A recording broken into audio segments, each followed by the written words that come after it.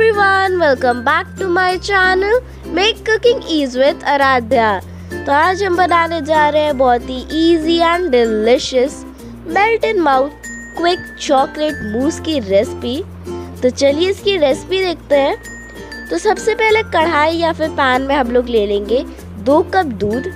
इस स्टेज पे आप अपने गैस को ऑफ़ ही रखिएगा वो बहुत ही ज़रूरी होता है। ये जो दूध हम लोग यूज़ कर रहे हैं वो उबला हुआ भी हो सकता है या फिर कच्चा भी हो सकता है। फुल क्रीम हो सकता है नॉर्मल हो सकता है, उससे कोई फ़र्क नहीं पड़ेगा। फिर हम इसमें डाल देंगे एक छोटी चम्मच चावल का आटा। ये ज़रूर डालिएगा। अगर आपके पास चावल का आटा नहीं है तो फिर आप कॉर्नफ्लोर भी डाल सकते हैं। अगर वो भी नहीं है तो दो छोटी चम्मच मैदा। लेकिन मैं प्रेफर करूँगी चावल का आटा या कॉर्नफ्लावर को ही, क्योंकि आज मैं वेजिटेरियन चॉकलेट मूस केक बना रही हूँ। इसलिए यहाँ पर मैं अगर अगर पाउडर यूज़ कर रही हूँ, अगर आपके पास जेलेटिन और आप नॉन वेजिटेरियन है तो आप जेलेटिन भी यूज़ कर सकते हैं। एक बार हम इसे विस्कर की हेल्प से एकदम अच्छे से मिक्स कर लेंगे। फिर मैं इसमें डाल दूँगी एक चौथाई कप चीनी। ये पिसी हुई भी हो सकती है नॉर्मल वाली भी।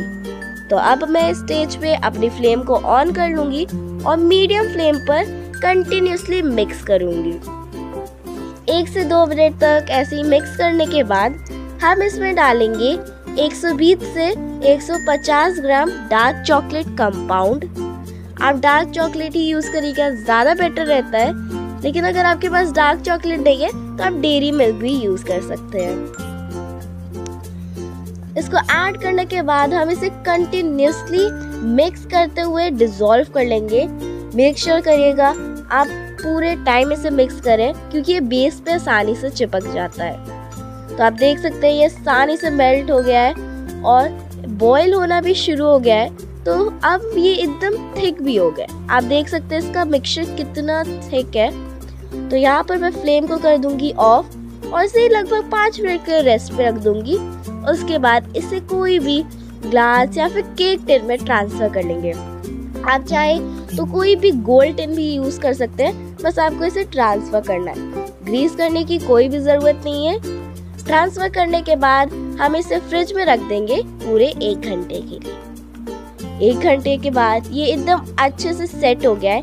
एंड यस आपको फ्रिज में रखना है फ्रीजर में नहीं। और आप देख ही सकते हैं कितना स्मूथ और कितना शाइनी है।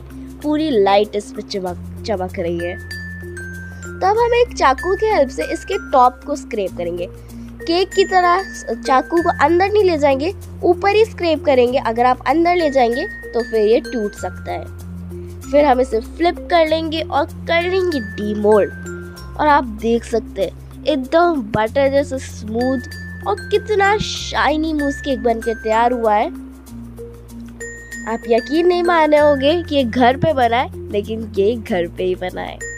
तो अब हम इसे कट कर लेंगे थोड़ी सी स्लाइसेस के संग।